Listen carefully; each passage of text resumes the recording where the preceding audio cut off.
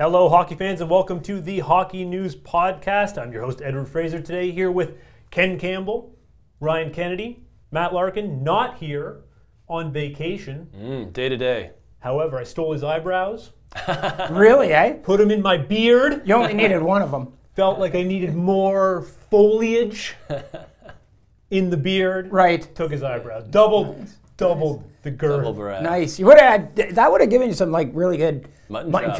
chops. Yeah. Yeah. To all the people eyebrows. not watching the video version of the podcast, no idea what we're talking about. exactly. do not switch over because God knows you do not want to see the three of us. Nothing to see no, here. Mm. nothing to see here. Carolina, Boston, lots to see there, Indeed. especially if you're a Boston Bruins fan. Teams that have gone down 2 nothing, 7 and 47 all time. Not looking good for Carolina. Can they bounce back? Can. Uh, no, I don't think so. And and I, I think this is just a function of the fact that when you're as low low seated as the Carolina was, sometimes you're good for an upset, sometimes you're good for two upsets. But three upsets is a little too much to ask. And I, I, I just think, you know, the deeper you get in the playoffs, the less chance there is for a team like Carolina to advance because sooner or later reality slaps you in the face, and I think that's what's happening here. I mean, you know, Jaccob Slavin got turned inside out in game two. You know, their penalty kill's been terrible. Uh, their goalie's been a little leaky. All the things that really were coming together for them in the first two rounds. Um, they, they've all kind of fallen apart. And I, I think even after the Washington series when they were down 2 nothing, um, you know, they could sit there and say, yeah, there have been times when we've outplayed Washington in this series, and we're kind of still in this. I, don't get that sense now. I, I get the sense that they're looking at this series and going, you know, as, as Justin Williams said, we ate a poop sandwich in games one and two. And uh, there's not a lot to hang your hat on going back home for games three and four, other than going back home. Yeah, and that is the old adage that you know a series hasn't really started until the home game loses. But you know, as you pointed out, uh, home team, um, as you pointed out, Ed, in the conference final, seven and forty-seven. That's a little more dicey, and it it just feels like with this Bruins team, they have so much experience, and I know Carolina has Justin Williams, but this Bruins team, they just they know themselves, they know each other so well, and they're so smart as a team. And I think that really came through, particularly in game two, where you know so many of those goals were of the variety where Carolina was just scrambling around, and all the Bruins were in exactly the right place to make things happen. And it does kind of feel like the conference final can be a, a pretty big letdown in terms of the competitiveness. It feels like that happens more frequently Because teams than have beat themselves up through the first two rounds. Yeah, and one team shows up and the other team is they've they've run their course. And you know, hopefully we get a bit more of a competitive series and maybe Carolina can can find themselves back in rally, but again, like the Bruins, they're just a very, very good hockey team, Yeah. and, and that's hard to come back on. and they're dialed in. Like the Bruins Yeah. are just completely dialed in right now. And and one of the reasons why I picked them to win this series, the main reason why I picked them to win this series, was because of Tuukka Rask. I think Tuukka Rask is playing the way championship goalies play, mm-hmm. and and and I just you know as as as great as. Uh, Mrazek and McElhinney were for Carolina. I just, you know, I mean, the pedigree is completely Yeah. different, right? Um, and that was sort of the main thing for me, and I, I think that's bearing it out now. I think you know Rask is still super dialed in, and he's he's playing really well. And now you're starting to see the you're starting to see the chinks in the armor in, in, in Carolina, and it's. I mean, it's to be expected. You know, I mean, they're they're a good team, but they're not as good as they're not as good as the Boston they're not Bruins. Boston. They're not as good as the Boston Bruins. They're not. Yeah. And so I, I find that the deeper you get into the playoffs, the more reality sets in. I want to circle back to Rask because I feel like we're seeing a new Tuukka Rask this time around. Like he he was a guy who was never questioned for his skilled level, ever questioned for his skilled level. The mental part of his game was questioned. I don't think that that's been in question for a second in these playoffs. It's oh. been rough on goalies. He's you know not once has he had any signs of cracking whatsoever. And I wonder if part of that is because hockey fans in Boston are just idiots who keep wanting to run him out of town. you know what I mean? And like this year, he really got he really got put through the ringer that way. And I'm wondering if it didn't you know, strengthen his mental resolve, you know, and, and that sort of thing. Because now he's he seems impervious to that stuff, and like you know, Matt Matt Larkin, our, our usual host, has often said, you know, you guys don't deserve Tuukka Rask and Boskin because of the way you treat him. So I, I'm wondering if that might be part of it. But I mean, this guy is this guy's a pro's pro, right? Like he is. He's he when he gets I- dialed in, he's he's one of the best. I also wonder how much Halak has helped him there. I mean, to oh. take some of that load off and to not have to be the guy. and just to have somebody to to talk to. yeah. You Like, never is know that dynamic. Yeah, exactly. Because you're not seeing the freakouts with Rask that we used to see during even regular season games when things didn't go right. Totally. Like you're seeing Yeah, a lot more yeah. controlled, and if anything gets hairy around his net, if there's scrums, he just skates off Yeah, to the was- side. He's like, I'm not getting involved Yeah. in this. And I mean, the results speak for themselves. It was funny in Columbus in game, I can't remember, game five, I think it was, or game four when Columbus scored uh, that goal that hit the that hit the netting. Oh, yeah. Pe- people were talking to Tuukka Rask about that after, and they said, "Did you know it hit the netting?" And he said, "No, I had no idea it hit the netting because if I had known, I would have been screaming and chasing after linesmen and breaking my stick." so it was probably better for him that he didn't. Yeah, yeah. He wasn't aware. Ignorance Ignorance, is is bliss. yeah, exactly. Jinx. Here's Oh. Here's here's here's my issue. Boston's outplaying them. They're killing them. It's over. Yeah. But to borrow Ryanism, this is the pear-shaped playoffs. Right. Nothing goes according to plan. Right. How does Carolina not win game three, blow them out in game four, and we're all sitting here next week going, this is a, it's it, Carolina's a much better hockey team than we thought they were. I mean, nothing has gone according to plan. I I mean, it could happen, and and and it may, but it doesn't feel like that this time. It just doesn't. I mean, against Washington, they were playing a lot better. They're not like they're, as you say. I mean, they're they're being dominated in this Yeah. series, and unless unless they turn this thing in a big way and get some serious momentum on their side, um, you know, the, the the deeper into a series you go with momentum, the harder it is to lose. And, and I know that was a big thing for Joel Quenneville. It was always like early in the series, he'd, he would always tell the Blackhawks, let's get the momentum and hang on to it for as, as long as we can.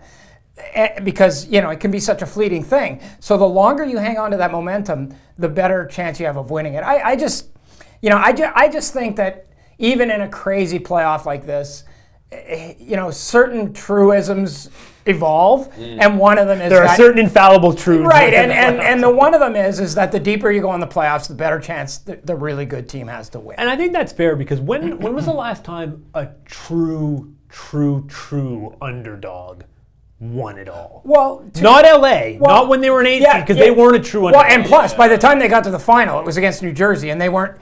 That wasn't really. That wasn't really that lopsided at all, at all. And yeah, I mean, it, it very rarely happens. I can't. I'm sitting here thinking I can't think of one. But yeah, by the time you get to the final, usually, almost always, the better team wins. Yeah, when, the cream time of the you get crop. to the final, yeah, absolutely. Because I think at that point you are, as weird as it sounds, you're relying more on your skill than you are on grit and determination, which you can get by Right. in round one, especially, Right. and into round two. But as you, as the playoffs go along, cliche time, the cream rises to the Right. top. I think in 2009, Pittsburgh and Detroit, maybe.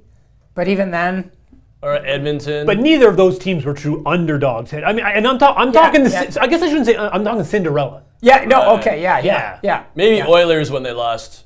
They didn't win. Kings. They didn't win. They didn't win. didn't. Yeah. They made it to the final. Right, right. Thanks, they Chris did, yeah, Pronger. yeah, Yes. exactly, Yeah. yeah.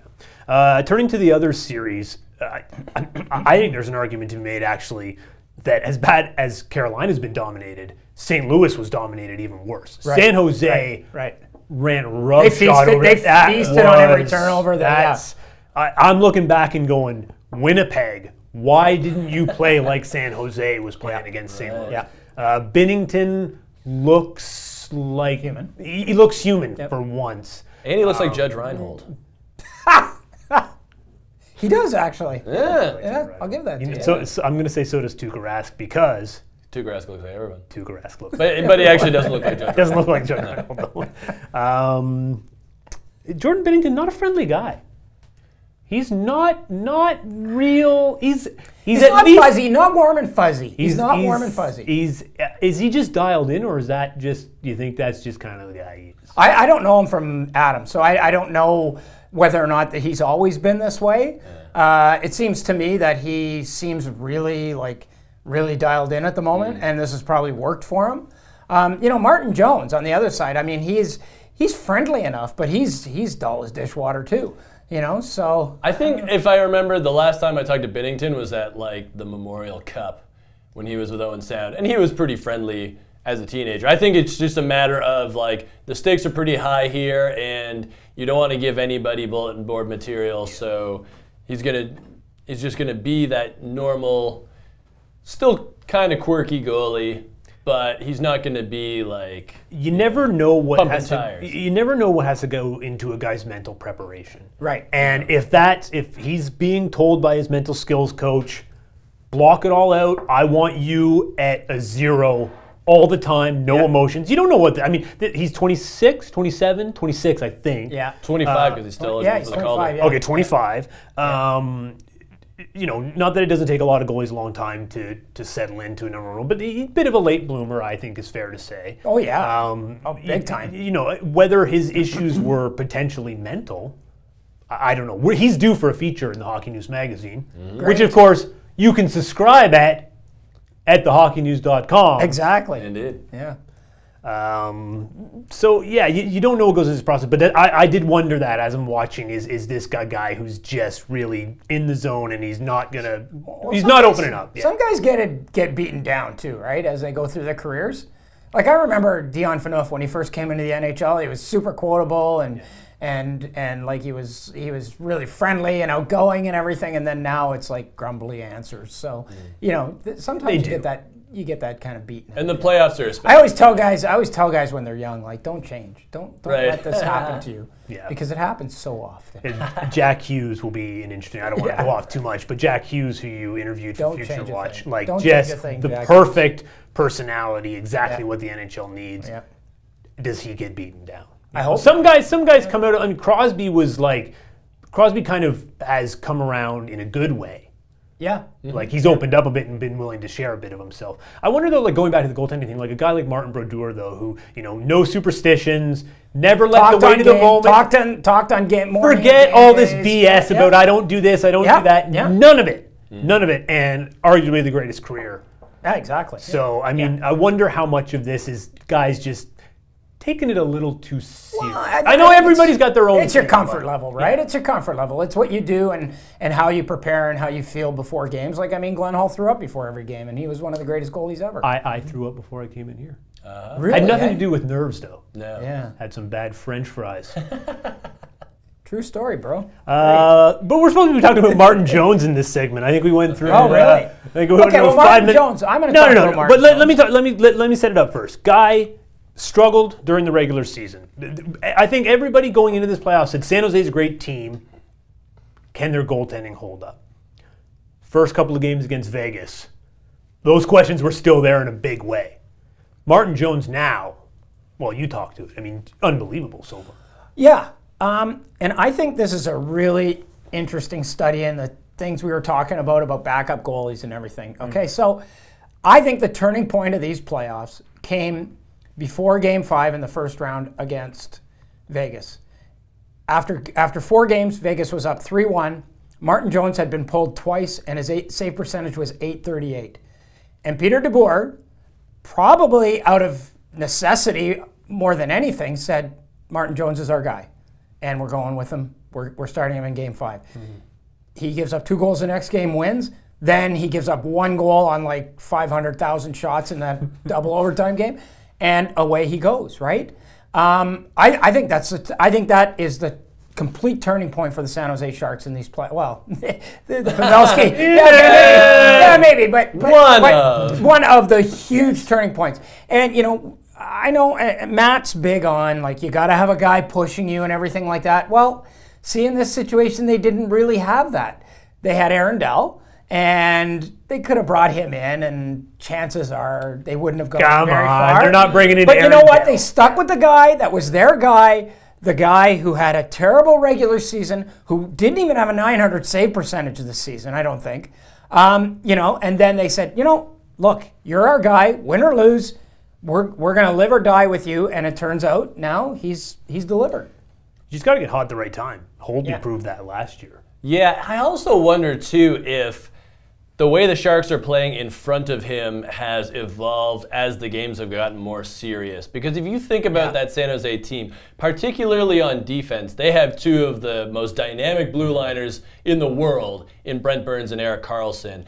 Guys that are great at driving possession, but when they make mistakes, they are bad mistakes. Now, in the regular season, you can kind of get away with that. You know, if you you know if you make a mistake and you give up a goal, it's not the end of the world. But once you get into the playoffs and things are so tight and every game matters, I wonder if either consciously or unconsciously, guys like that are taking that extra split second to say, maybe I shouldn't throw the puck out in front of the net, or maybe I maybe I need to dig a little harder in the corner, whatever it happens to be, and they're making those little plays that are helping their goaltender. Who, you know, I mean, when in the past couple of years, when Martin Jones is on his game, he's a pretty good goaltender. Sure, hmm. sure. Maybe maybe he's not top ten, but he's top fifteen for Yeah, yeah, sure. yeah. He. He just has to not hurt your team, especially That's on right. and, and that's what's happening like now. Jose, and, that's what's I, happening I, now. I think that's what's happening right now. Is he's he's not he's not knocking the doors off of this this thing or anything. He's doing the doors off of this exactly thing. what he- he's he's Yeah. playing well enough to help his team win, and his team is scoring three or four goals a game. And Yeah. and and but I do think I, I really do think that his defense is playing way better in front of him. I think Mark Andre Vlasic is. Uh, Mark Edward. Edward, Mark Mark, Edward Vlasic is having a way better playoff than he had as a regular season. I Mm-hmm. think Erik Karlsson is having a way better playoff than he had as a regular season. And I, I, you know, I mean, through much of the year, the San Jose Sharks were a team that just gave up an incredible chance after incredible chance. And they gave him up in bunches. yeah, Yeah. and and you're not as the playoffs have gone on. I think you've seen that become less of a way that they're playing, and like they they're they seem to be a lot more stable. Well, I think confidence begats confidence as well. Yeah. Because if, if I was to describe um, Jones's game at this point, it would be confident. Like he, he looks in Yeah. control out Yeah. there. There's no nervousness. Everything is everything is coming easy to him. And to me, through the eyeball test, that's the ultimate. That's the ultimate. Um, uh, measure. of a goaltender. I mean, that's why Carey Price for so many years Yeah. was the best because it's like post to post, no problem. Yeah. Are you kidding me? Yeah, I've yeah, got this. don't waste and that, time. That's eh, just very calm in his positioning, and everything is just the game's coming to him right now. It's, there's no, there's no, and the team and I think feeds off of that too, and especially a team that likes to be. I Can't believe I'm actually using this word. Proactive on offense and activate the defensemen. Uh, they're going to give up some chances, and you have the willingness to do that, the ability to do that when you've got a goaltender who's confident. Yep. Um, I wonder though, you know, one game sample with St. Louis. Uh, is is have we have are we are we going to see a rebound from St. Louis in this series? Is is this is this going to be basically a San Jose four or five gamer, or does San Jose or does St. St. Louis have another level to give? Oh, for sure. And Yeah. I think that, you know, what we've seen with this Blues team is that when they're on, I mean, they can grind and they can play heavy. They're, they're playing really good playoff hockey. And you think they're coming off a seven game series against Dallas that went into overtime, a very emotional end. You know, Patrick Maroon, the hometown boy, scoring the goal there's there's going to be some letdown. Okay. And I think game two will probably see. I'm not saying St. Louis is going to win necessarily, but it'll probably be closer. And I think what we'll see is a, a more traditional Blues game uh, from this postseason. I, they have so many good elements that I, you can't write them off yet. Well, yeah, and again, though, you can get through one round, you can get through two rounds sometimes. You can get through one round without Val, uh, Vla, uh, Vladimir Tarasenko doing much. You can get through maybe two rounds without him doing much. You can't get through three rounds. You can't. He's got to have more than one even strength goal. He's got one five on five goal in the playoffs. Yep. And he's got five goals, one of them even strength. They need more from him. He's got to step up. And if he doesn't, then they're, they're just not going to win. And it, to me, it all goes back to Binnington. And, and if the confidence level starts to degrade throughout the lineup there, because he was the St. Louis Blues since January Yep. and Yep. for the first two rounds of the playoffs. Yep. I mean, they were outplayed I would I still say 65% of the time, 65 70% of the time in the Winnipeg series. A little closer in, in Dallas, but still that was a close series.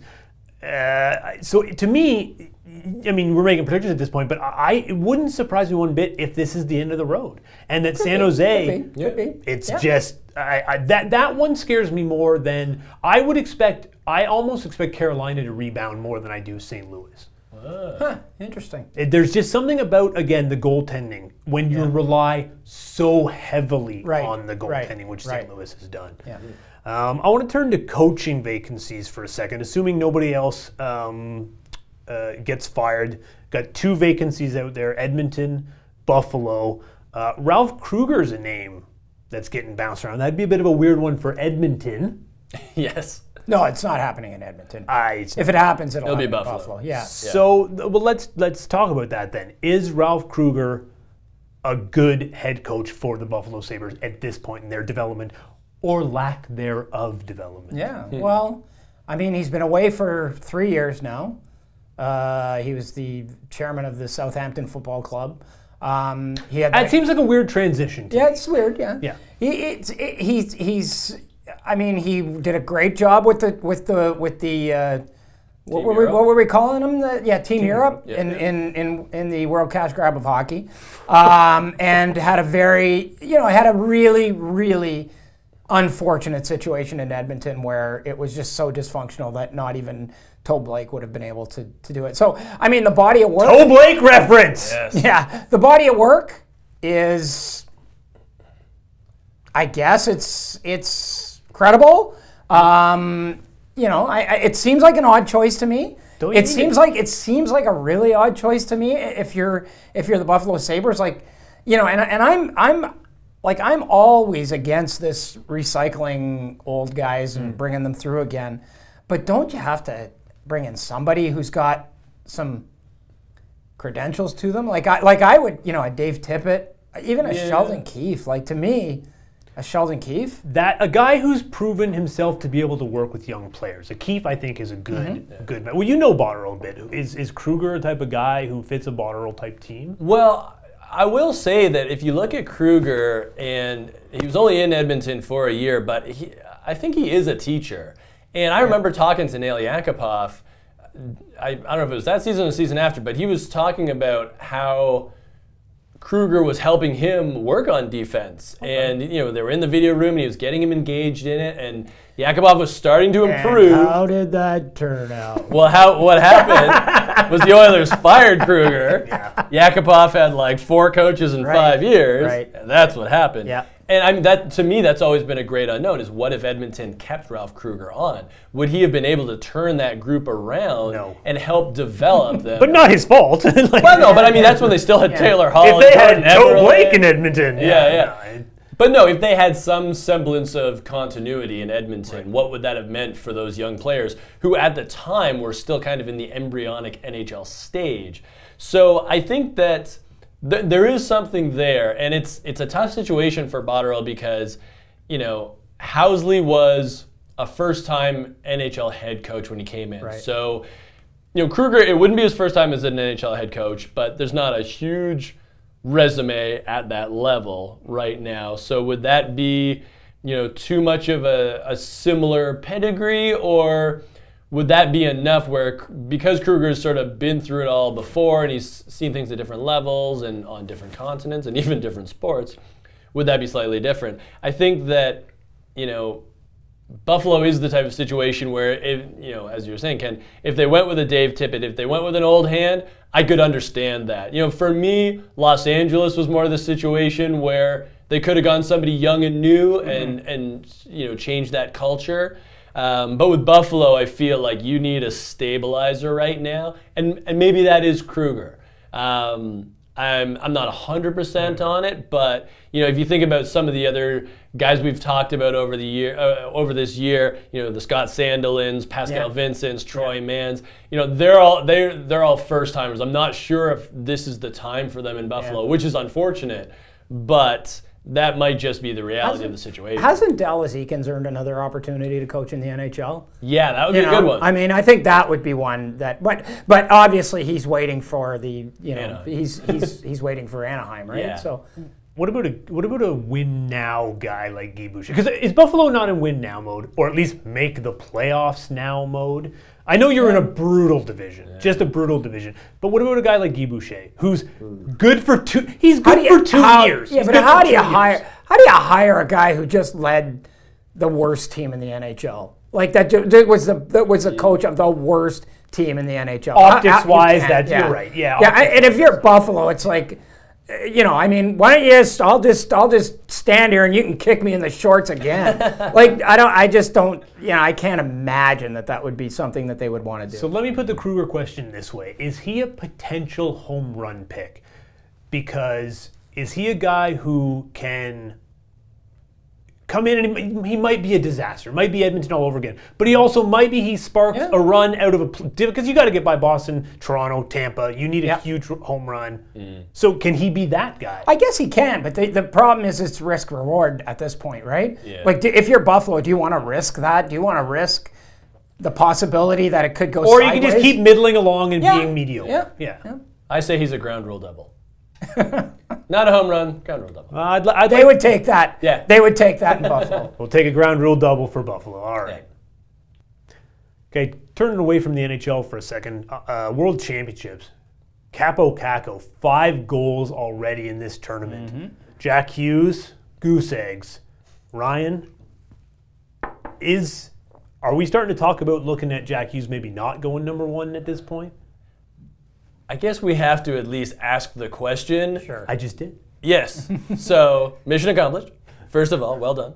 Um, but, I mean, it's really tough, and it's kind of funny because you know Ray Shero just had this happen to him two years ago with Nico Hischier and Nolan Patrick. And obviously, he went with Hischier, and it turned out to be a, a great decision for the Devils. Uh, he has played very well for them. Uh, helped Taylor Hall win the Hart Trophy as his center. It's it's difficult because you know it's a pretty big stage, and it's also a stage where you know people in Europe, uh, particularly Finland, have an affinity for this tournament. So when they see their boy doing so well, it's like ah, Kakko's better than Hughes, and I'm not saying one's better than the other at this point. Um, they're very different players. What I would say is that you know you have to look at the entirety of their seasons, both of which were remarkable. You have to look at their positions, a, a pure center versus a winger, Yep. who I, I think could play center one day, but Kakko is he's not a center right now, and that's fine. He's obviously very good. But you know, you have to think, you know, what does New Jersey want? What are they forecasting? And I was thinking about it this morning. I think the best comparison right now would be the Taylor Hall, Tyler Seguin. I was going to say exactly the same thing. Yeah, because at the Yeah. time it was like, yeah, Hall's going first. Why is this a debate? Well, it's a debate because Tyler Seguin's really good. He's putting up a lot of points with Plymouth. He's a center. Hall's playing wing. And, you know, we spin this out. We look a decade later. Yes, Hall won the Hart Trophy, uh, but Seguin's been one of the better centers in the NHL, and it's hard to find premier centers. And I think that's what you have in Jack Hughes is a player that is still ascending. You know, like Kaapo Kakko is already NHL sized. Jack Hughes, he has NHL speed, hmm. but he's going to get stronger in the next two, three, four seasons. So, what is peak Jack Hughes versus peak Kaapo Kakko? We don't Yeah. know yet.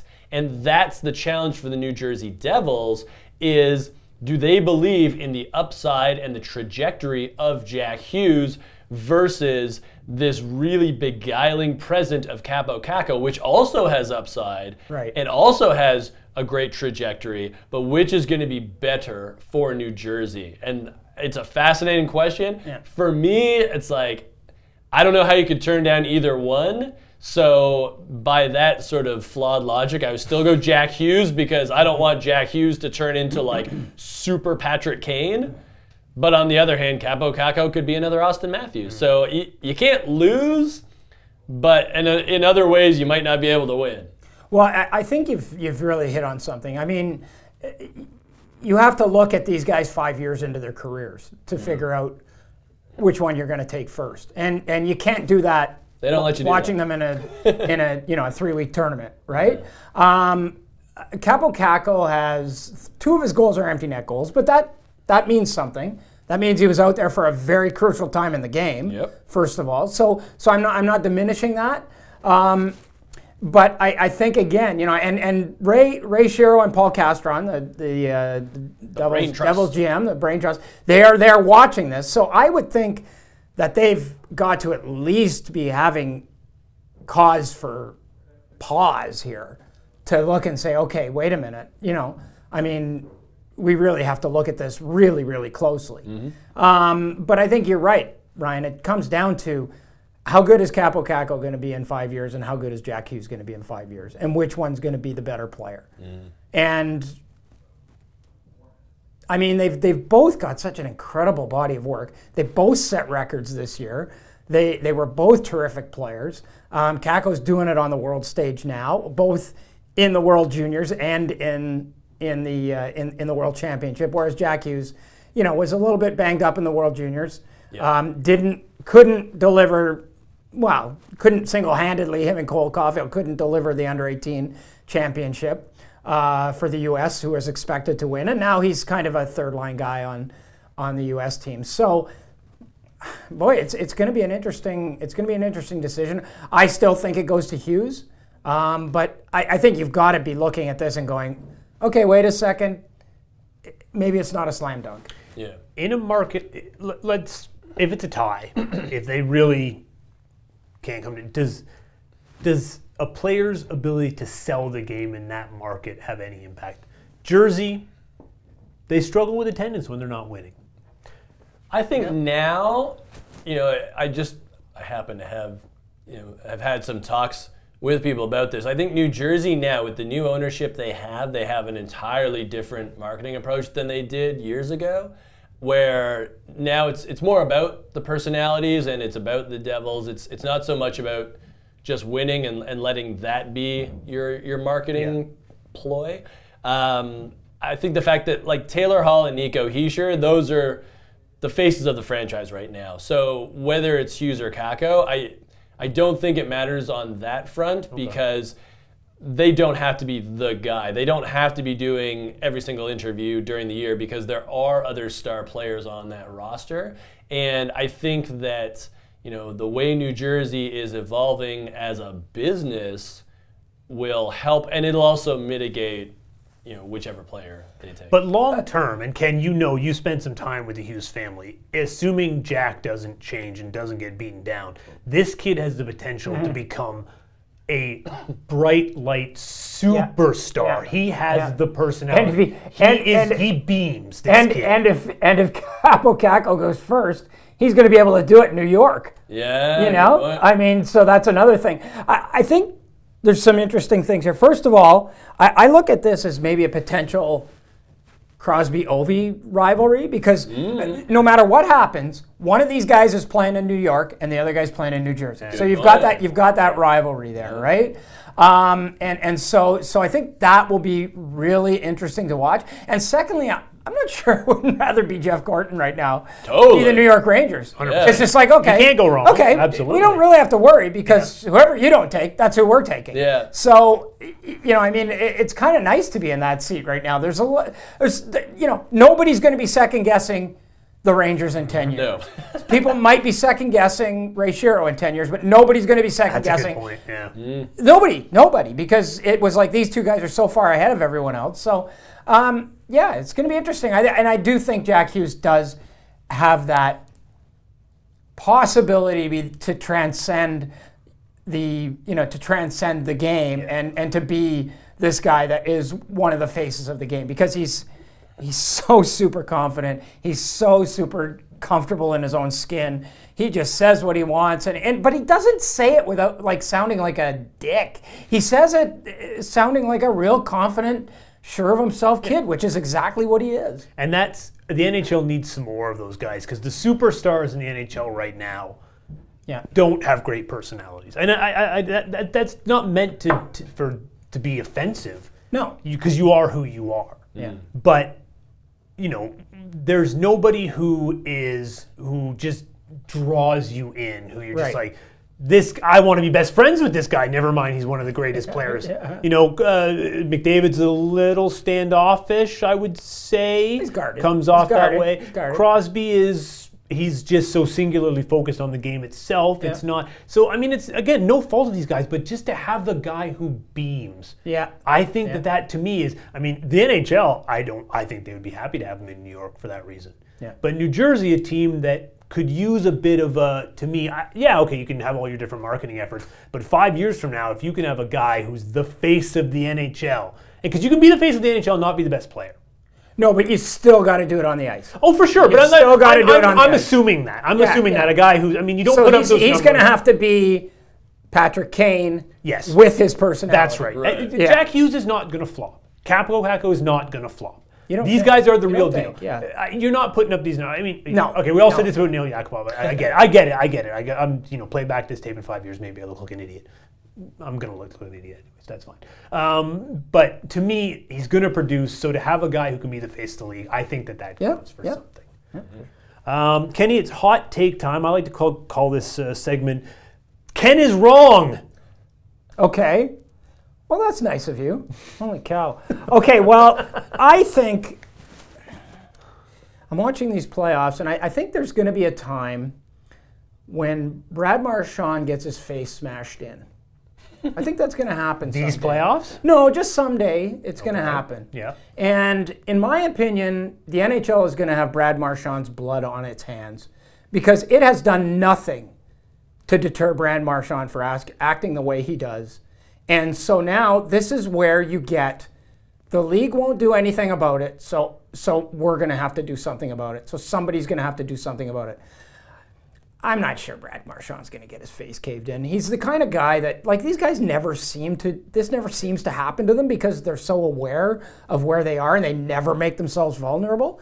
But I just got to think at some point, somebody's going to take advantage of him turning his back at some point and is just going to level him. I think Brad Marchand is lucky that he lives in the NHL of nowadays because there ain't a lot of mm. fat face Right. smashers right, around. right. Yeah. But I, I just, I just, if this, if this does happen, my point is, is that I think the NHL is going to have his blood on their hands because they have refused to do anything about what Brad Marchand has done and and and what he represents. Like like this last one was to me was just laughable. You know, Gary Bettman says we told him it's not acceptable. Okay. No penalty, no suspension, no fine. What part about that is not acceptable? Right. And that if he ever does it again, he's going to be in for a suspension. For let a guy who's got a proven track record. I mean, come on. yeah. That's the clever thing about Brad Marchand is he never does the same thing too often. Right, Like he right. did the licking Mixes twice. Yeah, but he mixes it up. It's like, okay, don't step on a guy's stick anymore. No problem. Yeah, don't yeah. rabbit punch a guy in the back of the head. No problem. Yeah. Don't do that. It's like, what else have you come? How did you get a paint can on the ice? What's going on here, Brad? Next time you hit somebody with a paint can, you're But definitely Justin, getting suspended. Justin Williams must be going like, like seriously, like look who I did it to. Come Right. on, I took his chin strap off for God's sakes. Why are you giving me a penalty for that? So should, do you? I know what Ken thinks. Do you think he should have been suspended for the punch? Oh yeah. So that's that's a universal thing then. Yeah. Well, not quite. I mean, some people don't think it was even a minor penalty.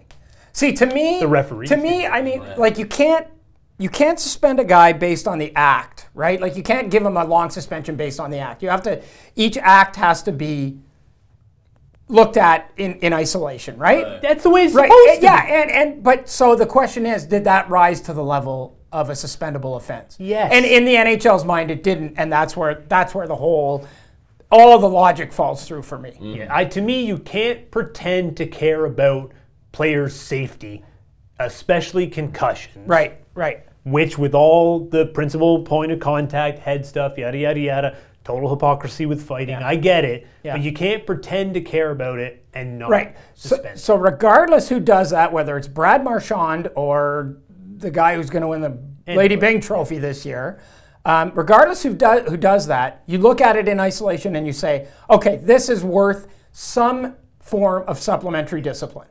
So then, then you get to look at the record after that. And then you go, oh, it was Brad Marchand. This fits. Okay, then he gets a game or two games. yeah, I, I get it. Yeah, so it's it's, it's basically. Whereas normally it, would have been a yeah. fine or, or Yeah. something for somebody.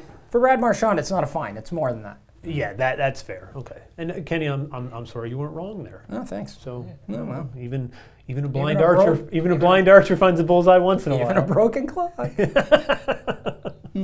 Uh, Future Watch. Uh, Mort Seider, right? Tell us about that kid.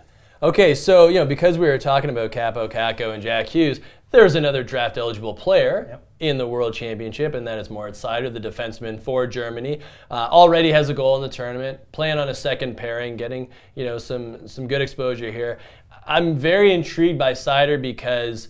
You know, we haven't seen German prospects like him very often. We certainly haven't seen German prospects playing in the DEL in their draft year. You know, Yeah. Leon Draisaitl, uh, a more elite talent. You know, I'll, I'll say that right now. Uh, you know, he was playing in Prince Albert and then Kelowna in the WHL. So with Seider, you know, playing against men back home, uh, had some injuries this year, so he wasn't always available for scouts to see. But great size, great two-way blue liner. You know, there's a lot of upside there. Um, I'm very intrigued to see how high he goes in this draft because Yeah. there isn't a consensus on who the best defenseman is in the draft. You know, Bowen Byram's the obvious uh, candidate, but then there's other people that say it might be Philip Broberg. Uh, they like the upside there. And then you have to think about guys like Seider and Thomas Harley and Victor Soderstrom. So I could see Seider going in the 10 to 15 range Yeah. if there's a run on defenseman, or simply put, if a, if a team really likes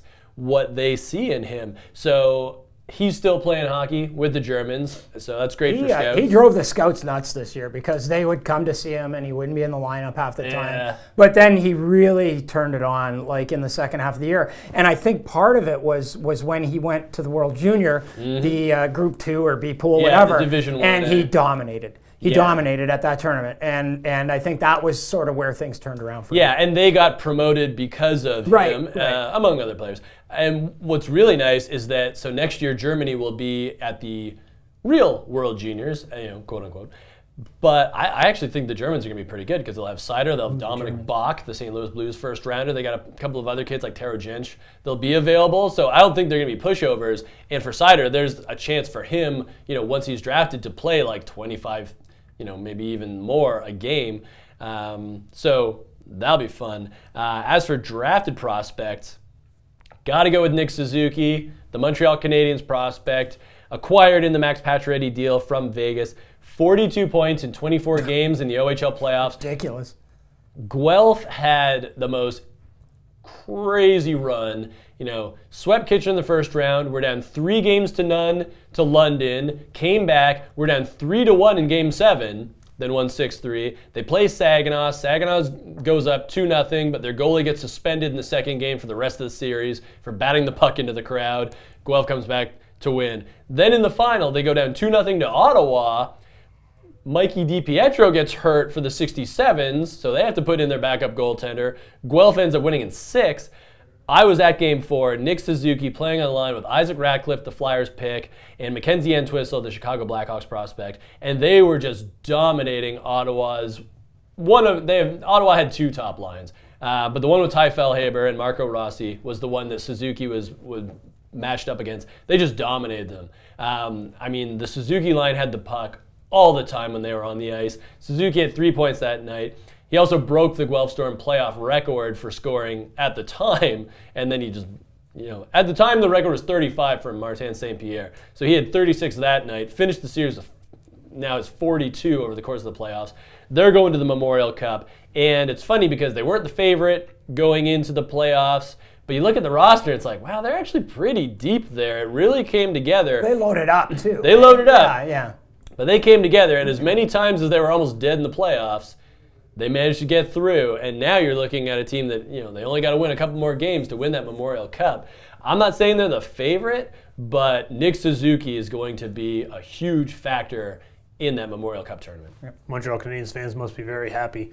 Uh, another player who's going to make some team very happy, and I want to know a little bit more about Ken, is Dylan Cozens, our projected number three pick Right. uh, in our draft preview issue, which should hopefully be in the hands of most subscribers or on newsstands right now if you want to pick up a copy. Uh, interesting backstory with Cozens. Yeah, I mean, I mean, I mean, the fact that he's from Whitehorse is is pretty interesting, but a lot of people know that already. Um, I got to I talked to him a little bit before he uh, went for the uh, World Under 18s, and uh, it, it's interesting because the fact that he's from Whitehorse is is kind of not even the most interesting thing about him. Mm. His his mother's from Jamaica, and she trains for marathons in the middle of the winter in Whitehorse. Uh, his dad was an electrician in Lethbridge, went to law school. Uh, decided to uh, you know decided to go to law school you know and then now he's now then he became a lawyer. Now he's a judge in Whitehorse. Um, and, and, it was interesting. There was uh, when he was in Pee Wee I think they the way they do it there's so little competition there that when you play for the quote unquote all star team or the, the, the rep team for that town, you play a, a um, you play a division up in the next house league, right? So he was playing Pee Wee, but he was also always he was actually on the Bantam team. The Bantam team actually plays against a men's league team, like a like a bunch of guys like yeah. me, you know. and so, anyways, he's he has a breakaway. A guy falls on his leg, shatters his leg, breaks it in like 50,000 places. Anyways, he has a growth spurt while his leg is broken, and, and then the next thing you know, he's this six foot three guy who's who's just a horse and a really soft spoken but really uh, really well spoken kid. Um, good, great background. Um, really works like that. That seems to be the thing that scouts have talked to me about most about him is that he just never ever like his his drivetrain is always going. He never gives up. His engine's always going. So a kid that could end up being a pretty interesting guy. Mm-hmm. A ghost, potentially, or maybe producer Steven. I don't know which one. I look down and look, and suddenly draft preview had appeared. Wow! Yeah. and there it is. Uh, beautiful. Our first perfect bound edition as well, which, right uh, for those of you don't know, no more staples. Mm-hmm. Get that beautiful mm-hmm. perfect bound glossy cover. There it is, right there. Kenny, you wrote the Jack Hughes story, got the Dylan Cozens story. Uh, pick that up for our rankings as well as uh, some great reads on the top three prospects in the draft. Uh, mailbag. Got Jordan asking, is this the end for Joe Thornton? Ryan. Only if the Sharks win the cup. I think if they don't win the cup, he'll come back for one more year. Yeah, I think that's fair to say. It's starting to look like the end, though, isn't it? Yeah. I think he's actually playing pretty yeah, well. Like he's, he's still yeah, defensively responsible. He's slow. No, yes, slow. yes, yeah. But I'm but 40, I mean, when your knee's been reconstructed too. like that and, sure. and everything, that's that's to be expected. Um, Still can throw a vicious elbow with the best of them. Yes, he can. and I, you know, I mean, I, the, the, one thing I, the one thing I worry about with with uh, San Jose is like, I hope they don't just get this like, let's win it for Joe Thornton as opposed to Pavelski. Yeah. Um, you know, because then you start putting a lot of pressure on yourself. But I mean, they've handled it pretty well so far. If they get to the final, I mean, I, I don't know if there's a person that would not be cheering for the San Jose Sharks. Other than if Boston gets there, like all Boston Bruin fans would be like, "F Joe, who cares? Yeah, of course. Yeah. We want to win the cup." But but I think everyone else will be like, we want to see Joe win. Yeah, this, you know, I mean, and it's hard to argue against that sentiment. Guy's a Hall of Famer, great guy. Um, you know, he's been he's he's he basically has, you know, established the culture in San Jose. Mm-hmm. Um, you know, a, a, guy that's just a, a guy you want to see get that get that prize. Is there the any, Ray Bourque, if you will? You know, yes. any chance, any chance that Joe says, "I want to keep playing." I'm worth my four million, my five million. Mm-hmm. I've, deserved that. San Jose can't afford them. They want they want to bring Erik Karlsson back. Right, and they've got to sign Joe Pavelski. Tons of other guys yeah, to sign. Yeah, Pavelski yeah. might even be an odd man out there. Yeah. Is there any chance that Joe comes back not in a San Jose uniform? Yes, yeah. I believe so. I believe there is because I think Joe Thornton's the kind of guy that needs 31 teams to tell him he's no good. Yeah. Okay. He needs hockey he, life. He, yeah, yeah. He he needs unless unless he wins the cup and says I want to go out on top and that's it. Yeah. But but I've talked to Joe. I, I don't I don't profess to know him real well, but I, I know him a little bit. He's one of those guys that you're going to have to peel the stuff, the, the equipment off of him, and you're and there's like I said, there's going to have to be 31 teams out there that say it's over, Joe. Well, then it's to over. me, then to me, I wonder if it's you win your cup and then you don't have to stay in San Jose. You go and you do your I still want to play yeah. tour, but I can play for any team I want maybe, to. Maybe. Not that San Jose wouldn't be the team you want to play mm-hmm, for, mm-hmm. you know. And and uh, very to me, if you're in that kind of mindset, you don't. If you just want to play, you come back for a mill and a half. Yeah, totally. You signed a And he would, and he would. He would. Yeah. I mean, Char's back for two next year, right? But the one thing you keep forgetting there is he's also got two and a half and easily achievable right. performance right, bonuses. So it's actually right. fine. Yeah, yeah, yeah. Um, anyways, I digress. Uh, Gotham Intel HQ. Nice. Is that is that Sure. Twitter? Sure. Sure, let's go with that. Okay. Will the NHL ever go to Olympic-sized ice? No, they won't. That's been the podcast for this week. Hooray! Well, first of all, it's international sized ice, not Olympic sized ice. Okay, well, th- Um, Gotham Intel Yeah, yeah. Come on, Gotham. Secondly, no. Secondly, Intel no. said. Secondly, no. Yeah. And thirdly, no. Yeah. Like never. Yeah. And why would they? And It's a great question. Really good one to put on the lineup, Steve. Well, no, because people need to people need to know. No, because eh, I mean, I mean, I think what makes the NHL so special is that these guys have the ability to do these amazing things in confined spaces. I think the confined space is what makes the NHL so exciting. Oh, yeah. I think the bigger the ice, the more boring the game. Oh, he totally. like- like totally. is- Isn't there a half? I mean, uh, Burke, There might be a hybrid, Brian yes, Burke has yes, come out and talked yes. about how, and, and, and to his credit, he said he's been beating the drum for this for two decades. Right. And every new arena that's been built, he's saying, take out a couple of roads. We want to go. Right. Just not quite Olympics, but Right. just another. I think it's three or five feet. I don't remember specifically. Right, right. Doesn't that? I mean, I know it's been said and said again. Dudes are five inches bigger and 30 pounds heavier now, and we're still playing on the same size ice. Mm-hmm. Right. But the game right. is still exciting, and I think why that is is that you had the obstruction crackdown, you had the slashing crackdown. So I, I totally get the idea that the players are so much bigger, but I mean the speed of the game is better than it ever has been. I also think that that conversation with owners would be like, "Hey, uh, so I was thinking if you could take three or five rows of seats out of your arena. Hello, Play- Yeah. yeah, yeah, yeah, yeah. hello." Yeah. Yeah. Yeah. But I, I think I think that that this is not it's not a s- it's not a, a quality of play issue. It's a safety issue. I, I think the size of the ice is a safety issue because because as you said, the game is so fast now, played by such big players. I think you give them a little bit more room out there. You don't have all these collisions that end up ending up with these catastrophic injuries with concussions. I think if if there's a if there's a case to be made for a bigger rink, it's in it's on the safety side. It's not on the entertainment value side. It's on the player safety side. Okay, well then, then, then they're absolutely not going to do it. Yeah. All right, that's it for the podcast this week. We hope you enjoyed it. Got Ken Campbell here. Got Ryan Kennedy. I'm Edward Fraser. Thanks very much for listening.